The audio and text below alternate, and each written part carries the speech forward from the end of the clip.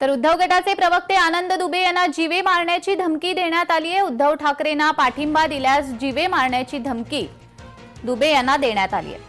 Samta Nagar police ठाण्यामध्ये यासंबंधी तक्रार दाखल केली आहे. तक्रारीमध्ये शिवसेनेचे चिटणीस संजय माशिलकर यांचं नाव आहे. संजय माशिलकरांनी धमकी दिल्याचा दुबेंनी आरोप केला.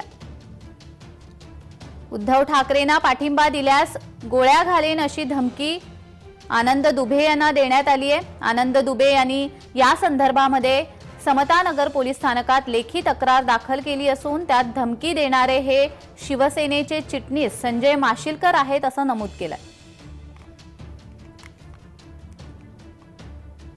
निंदे गटाचा बरं का एक प्रवक्ता म्हणून घेणारा माणसानं ऑन एअर फोन करून त्याला ठार मारण्याची धमकी दिली. देवेंद्र फडणवीस हे राज्याचे गृहमंत्री असताना हे त्यांना शोभतं का? हे असं विचारतात आम्हाला.